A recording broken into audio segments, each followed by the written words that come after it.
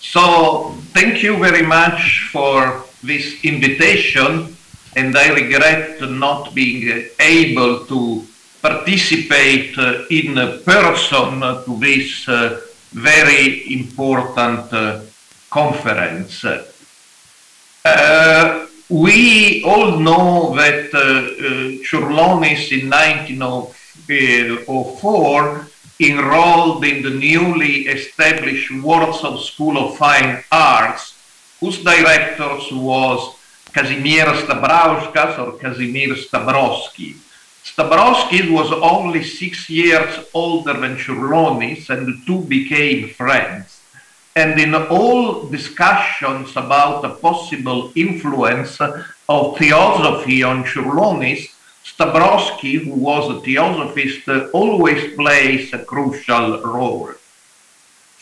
Indeed, and again I'm uh, repeating things that are well known, during his years at the Warsaw School, Stabrowski organized and Churlonis participated in the so-called wild strawberry tea parties, which were not formal meetings of a theosophical lodge, but included discussions of theosophy, Oriental religion, spiritualism, and parapsychology. We can call Stabrowski a theosophical uh, painter, and some of his paintings, such as the Consoler of Monsters you see on the left, have a visible theosophical flavor. However, some questions remain. What kind of theosophist was Stabrowski, and how did theosophy influence artists who were exposed to them? Answering this question requires some preliminary notions about the Theosophical Society and its multiple connection with the artistic milieus.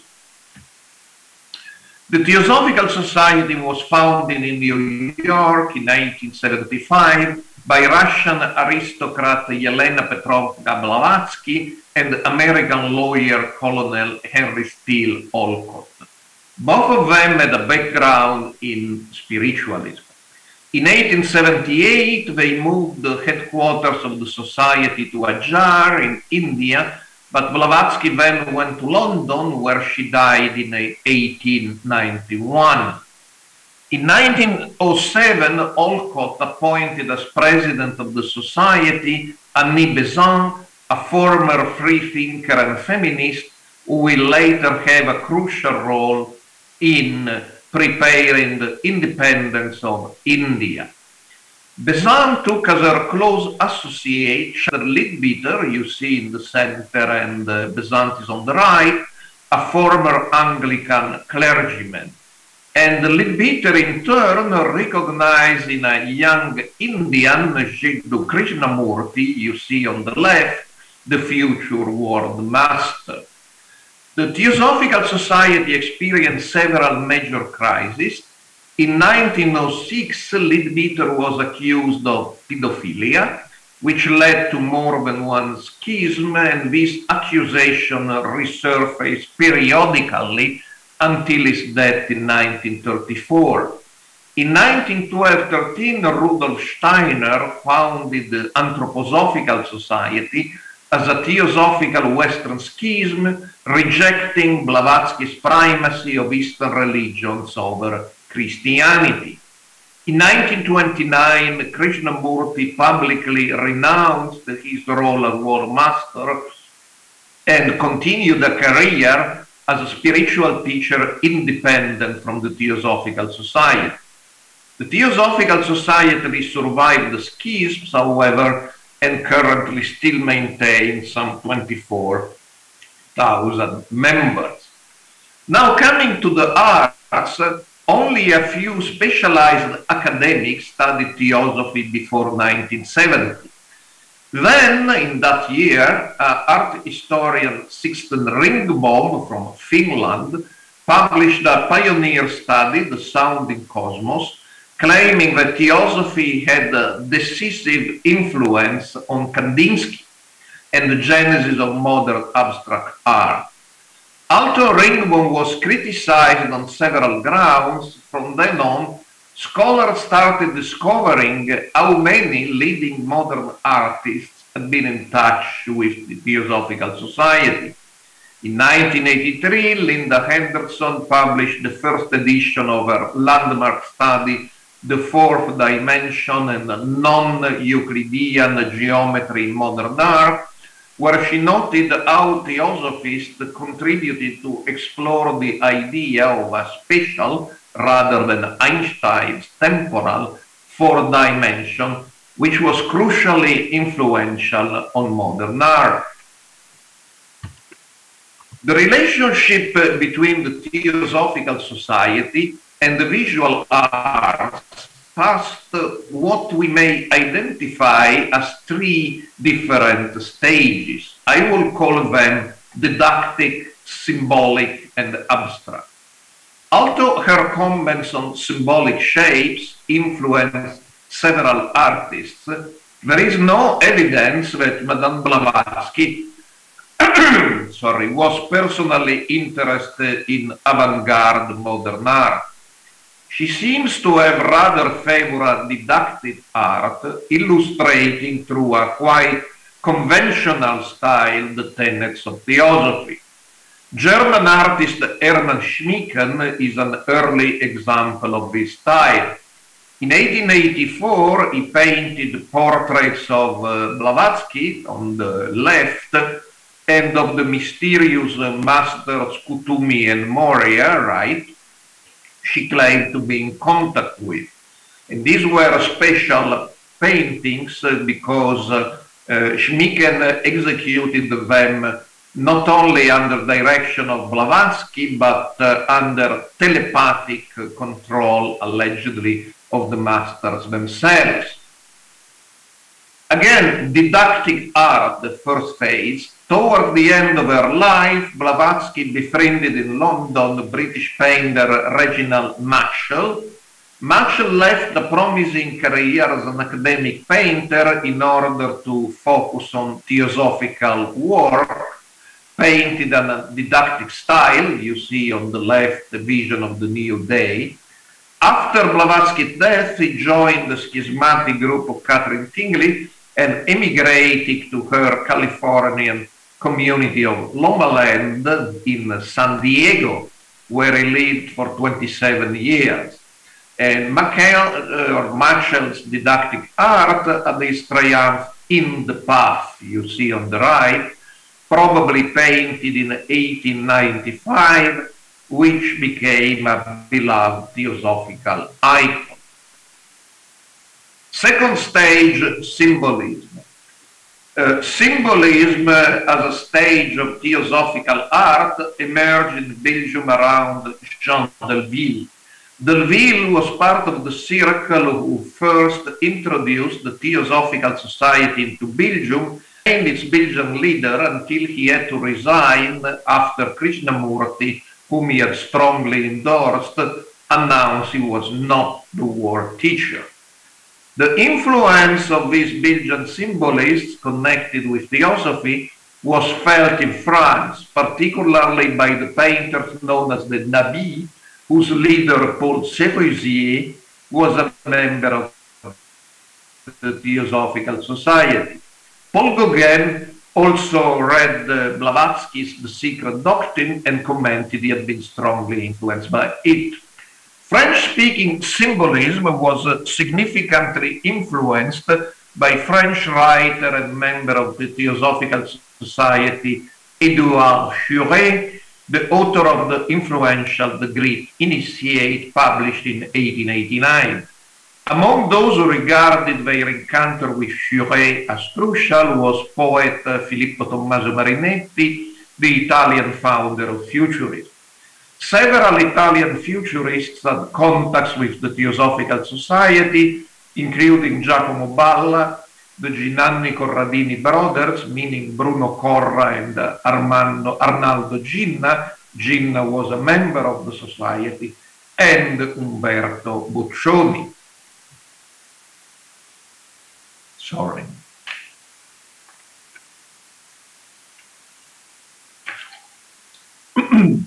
Boccioni was among the painters who acknowledged the influence of Besant and Leadbeater's book Thought Forms, published in 1905, a typo in some edition erroneously indicated it as first published in 1901, so some art historians made the mistake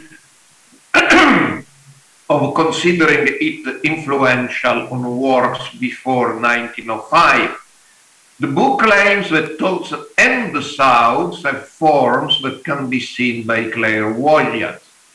Thought forms had been preceded in 1902 by Leadbeater's Man Visible and Invisible, and here we have a Lithuanian connection because the clairvoyant would read uh, anonymously the illustrations of this book was a Lithuanian diplomat and member of the Theosophical Society. You see here Count Maurice Prozor.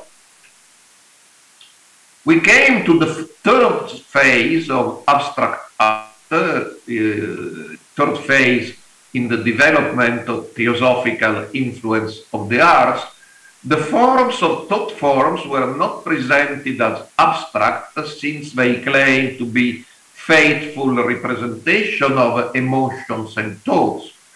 Theosophy and the book Thought Forms, however, did act in some instances as a catalyst in the transition from symbolism to abstract art. We can follow this process from symbolism, see the painting above, to abstract art, see the painting below, among artists influenced by theosophy and Thought Forms in the career of Czech painter František Kupka, who is the author of both the paintings on the right. Kandinsky explored theosophy for several years and attended lectures by Steiner when the latter was still a member of Theosophical Society.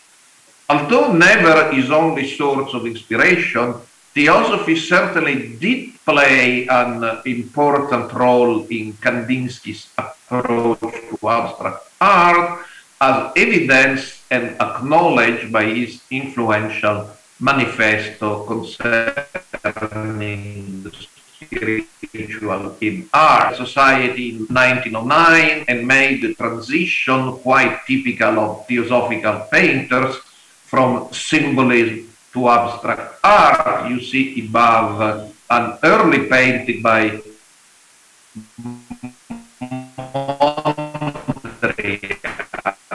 which is really initiation progress, and you see below your typical Mondrian. And while some critics denied it, uh, Mondrian insisted to his last days that theosophy was crucial for him. And what he produced was in the true sense of the word. Only recently, through several major exhibitions, Swedish artist Hilma Klint has been recognized as an important abstract painter.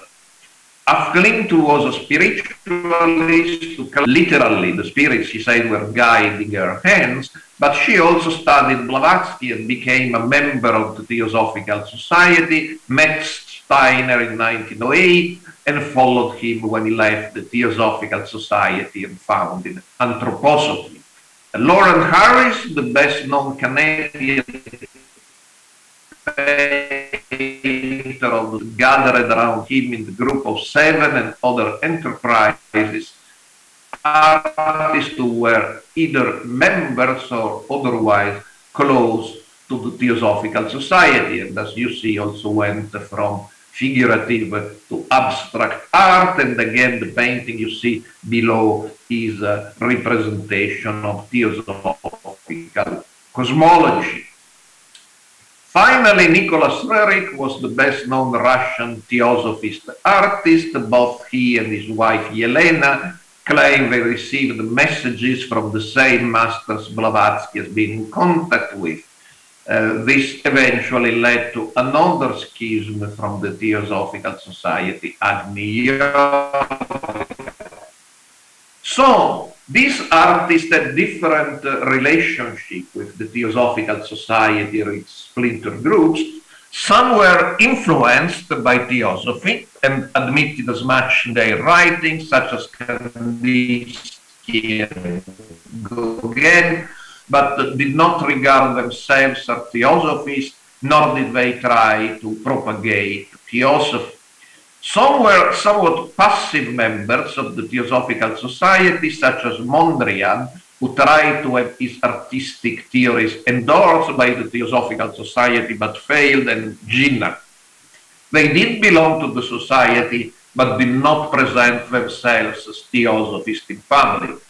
And finally, a third category, the active members of the society who had administrative responsibilities in the Theosophical Society, proselytized for their brand of theosophy and tried to recruit other artists. And these include Machell, Delville, Harris, and Roerich.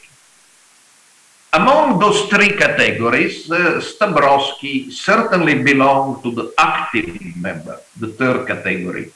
The problem, however, is that we are much more well informed about what Stabrowski did as a theosophist after 1908 and much less about the years 1904-1905 when he was teaching Čiurlionis. Stabrowski's Warsaw Theosophical Lodge Alba, named after Russian theosophist Anna Alba Kamiensky, was officially registered as part of the Russian Theosophical Society in 1908.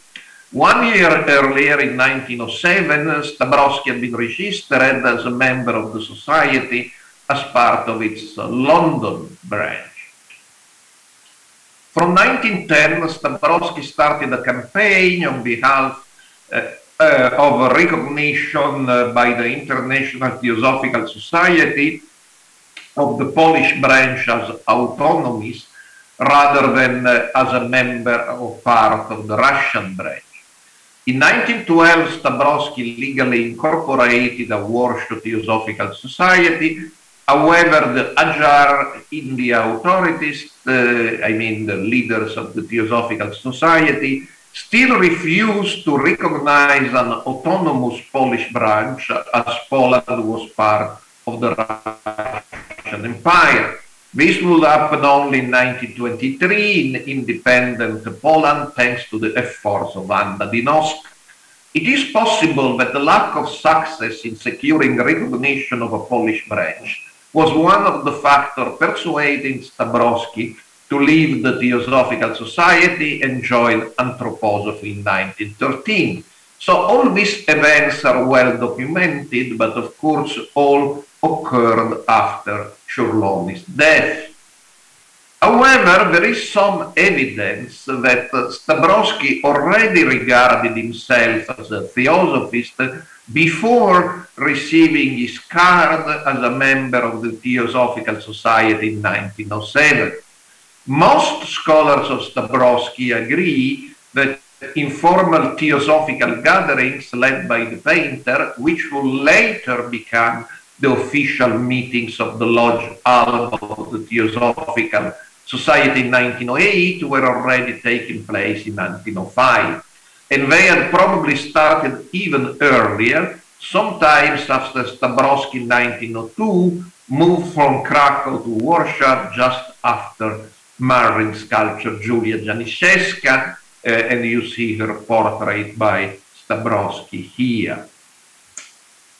Polish scholars Karolina Maria Hess and uh, Malgorzata Lisza-Dulska, who have studied in depth Stabrowski's relations with theosophy, have called the attention on the cover of the artist's design for the 1904 book uh, Fatum by Hanna Krzemieniewska, the pen name of Janina Furz-Jurkiewicz, herself a member of the earlier Polish Theosophical Circle.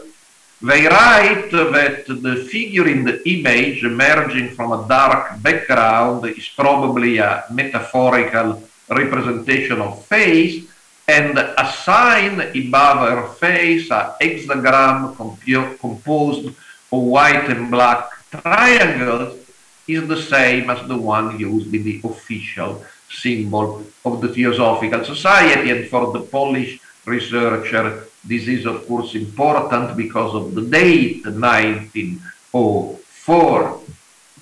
And Karolina Maria S. and their co-author have recently uh, suggested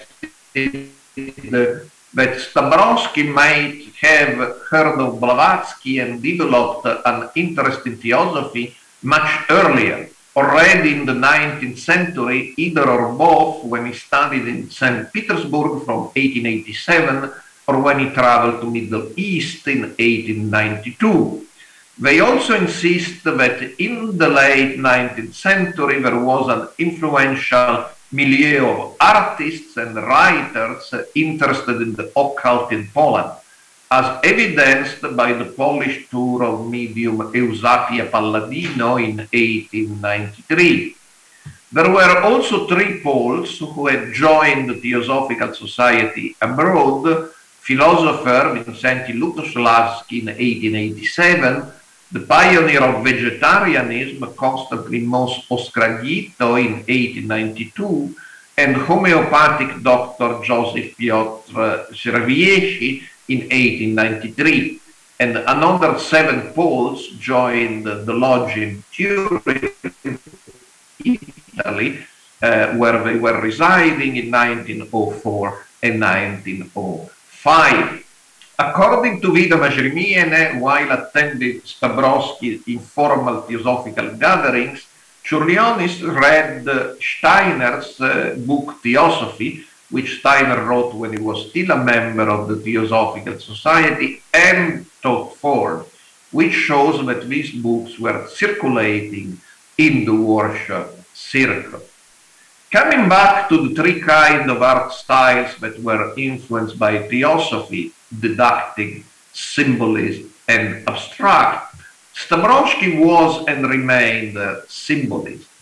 We cannot find in Stabrowski's work the full-fledged passage to abstract art on which the book thought for was influential that we see in the careers of Kupka or Harris. Critics have, however, seen in some of the Polish artists' paintings a shift to abstract imagery that is not complete but moves out of a purely figurative approach. See example on the left. Čiurlionis went much further and one may wonder what, if anything, Čiurlionis took from Thought Form. The question remains, is the fact that Stabrowski, as many other artists, Uh, including luminaries such as Mondrian, was a member of the Theosophical Society just a curiosity? Or did the theosophical art, as Mondrian once claimed, exist as something Stabrowski might have in some way passed to Čiurlionis? One of the most important treatment of this topic is found in the writings of Lawren Harris. Canadian artist.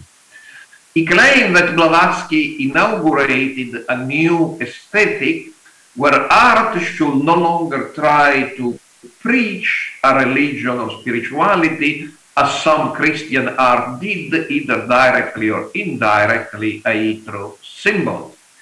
A real theosophical art, Harris concluded, should rather induce its audience to experience a higher plane of being through beauty. Although this effect may be obtained through different forms of art, Harris claimed that in this stage of human evolution, abstract art will be more effective. In conclusion, American sociologist Howard Becker in his important contribution to sociology of art, argues that art is a social construction produced by works of art, where the artist is never alone and the work of art is co-produced by many other agents. The Theosophical Society, through his special interest in art, acts as one such agent and contribute to the creation of one or perhaps more peculiar works of art. Becker's theory may perhaps also be used as a framework to study the non-exclusive place of Stabrowski's theosophy in the creation of the world of art in which Čiurlionis operating. Thank you.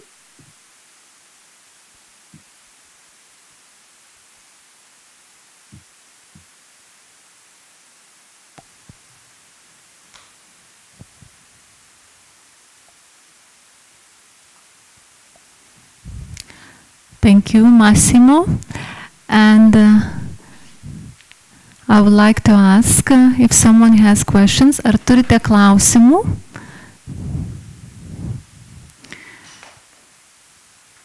Then I will have a question for you. Uh, there is a painting um, of Čiurlionis uh, called uh, Thought.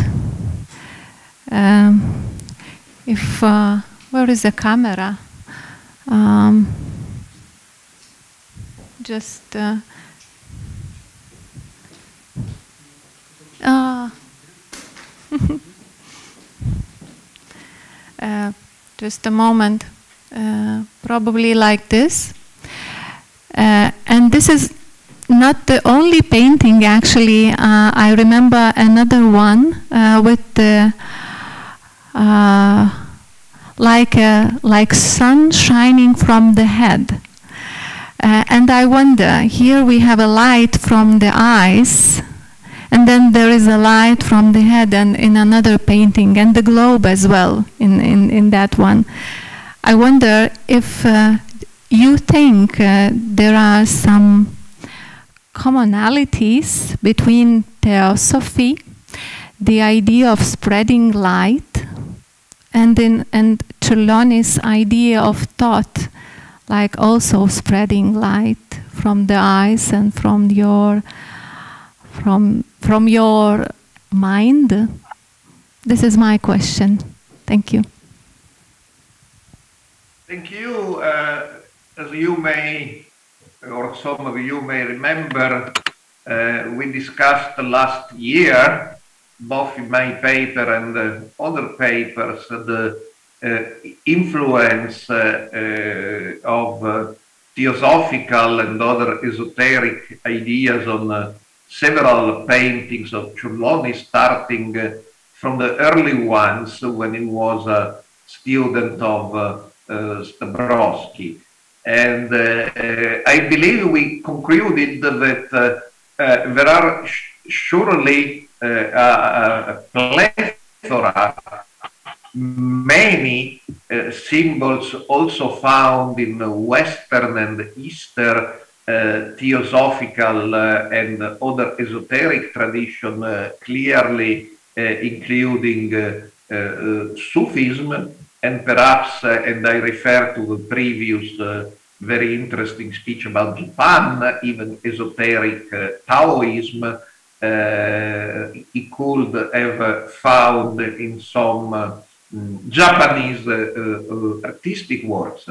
And as we said last year, the problem, however, is uh, that uh, uh, we don't know exactly where this symbol came from because throughout the history of esotericism, uh, the symbols may have multiple origins. So Čiurlionis could have taken some ideas about uh, lights, or last year we discussed serpents uh, or uh, he could have taken these ideas from uh, Stabrowski and the Theosophical Society. he could have taken these ideas from Lithuanian uh, mm, spiritual uh, traditions. we know he was interested in. He may have taken them from his multiple reading of different authors, but certainly a commonality there is uh, between uh, Čiurlionis' works and uh, ideas about uh, metaphysical or spiritual realms, mysterious beings, uh, and the power of light found both in the Western and the Eastern esoteric tradition. Thank you, Massimo. Thank you for joining us.